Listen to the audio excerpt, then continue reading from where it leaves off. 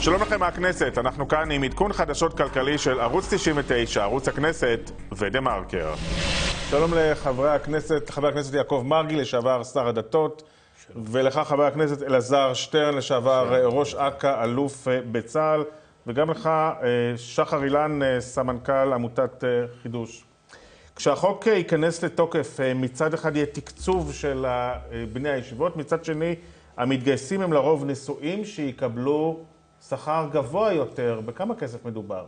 א', אנחנו מקווים שיהיו יותר רווקים, אבל מי שמתגייס בגיל כנשוי מקבל תשלומי משפחה של כ-5,000 שקל לחודש, כלומר 100,000 שקל לשירות צבאי. זה הרבה, זה כואב, אם אתה שואל אותי, זה עדיין מחיר סביר לכך שהוא ייכנס לשוק העבודה ויתחיל לשלם מיסים. לעומת כמה מאות שקלים שמקבל חייל בסדיר. אני חושב שאגב, זו הזדמנות מצוינת לפנות לאלעזר שטרן ובכלל לחברי ועדת שקד ולומר, לא יכול להיות שהחוק הזה יעבור בלי שתעלו את שכר חיילי הסדיר.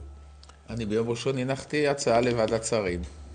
ביום ראשון שעבר. לחקיקה.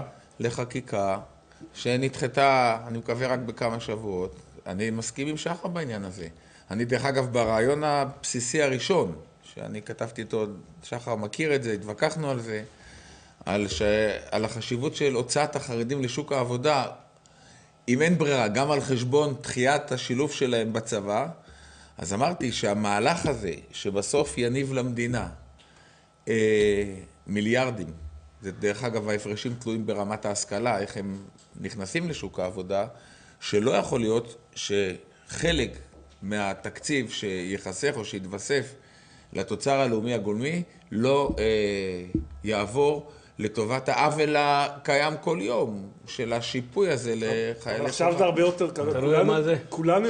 חבר הכנסת מרגי. עדיין אין פירות בעץ, אנחנו כבר רוצים לחלק את לא, השנה. לא תקפנו את החרדים עדיין. לא אמרתי, אני עד עכשיו, עד לרגע הזה הסכמתי. אתה הסכמת עם הכול. הסכמתי עם הדברים. אבל למה סנקציות פלילי, כלכליות שיוטלו עליהם, ולא סנקציות פליליות כפי שהן מוטלות על צעיר חילוני שלא מתגייס לצבא?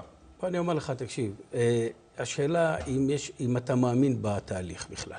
אני חושב שגם חלק גדול מחברי הכנסת ששותפים לחגיגה הזו שנקראת שוויון בנטל, לא, מאמין, לא מאמינים בהצלחת התהליך. למי אתה מתכוון? אני מדבר גם, גם, ודאי על חברי הכנסת של יש עתיד. אני אומר לך, אני, אני רוצה להיות מאוזן. קראתי את הטור של אבישי בן חיים, עיתונאי, שהוא כותב שחוק שוויון בנטל זו התרמית הגדולה ביותר של יאיר לפיד, החרדים, כשהוא מתכוון לחרדים, אלה שזועקים הפלג הקיצוני ביותר. כי בסך הכל, בסך הכל הכללי, זה לא שוויון בנטל, ולא יוכלו ללכת. כולנו יודעים, כולנו יודעים שהמדינה לא תצליח לגייס את מי שהיא לא רוצה לגייס ממילא.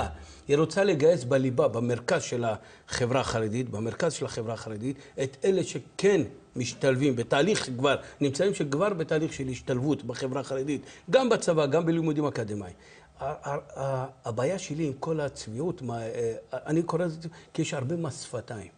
כשאנחנו מדברים, רוצים... אני מאמין, בכנות מלאה, מאמין לאלעזר שטרן, שבאמת רוצה לראות את החרדים משולבים בחברה הישראלית. יש פה מס שפתיים, חבר הכנסת שטרן. אבל הוא יודע שלא כל אלה שהיום דוחפים את חוק שוויון בנטל, מעוניינים בשילובם של החרדים בחברה. כמי שהיה ראש אכ"א, האם החוק המסתמן בעצם יעודד חרדים להתגייס לצבא ואחר כך להשתלב בכוח העבודה האזרחית? תראה, אני אגיד עוד משפט אחד, כיוון שדובר פה על הגיל, ושחר דיבר על 5,000 חיילים. 50,000. על? על ריקון הבריכה. לא, הבריכה היום 40 אלף. עם חרדים, תוציא את הציונות הדתית מתוכם, זה סדר גודל כזה. אבל אני אומר משהו. אני קודם כל בעד, כיוון שאני רוצה אותם כמה שיותר צעירים בצבא, כדי שיהיו כמה שיותר לוחמים, אני הצעתי לתת תמריץ למי שבא בגיל 18-20. כדי שהם יבואו באמת ליחידות לוחמות, שם הם יתרמו הכי הרבה. משם הם, הם יצאו הכי מהר לחברה הישראלית חזרה, לשוק העבודה, ומשם גם... הם, שם הם יעלו לנו הכי פחות. בשורה התחתונה, אני חושב שקודם כל בנחל החרדי, בואו נגיד שלצערי הרב, אף פעם לא שמעתי ח"כים מיהדות התורה אומרים להם, לכו לנחל החרדי למי שלא משרת. הם לא אומרים את זה, הם לא מוצאים את השם הזה מהפה שלהם, לא אומרים תלכו להיות לוחמים.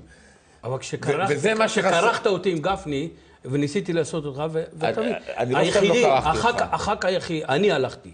והסיעה שלי הלכו לגדוד לכן אמרתי יהדות התורה, לא כדי. לעודד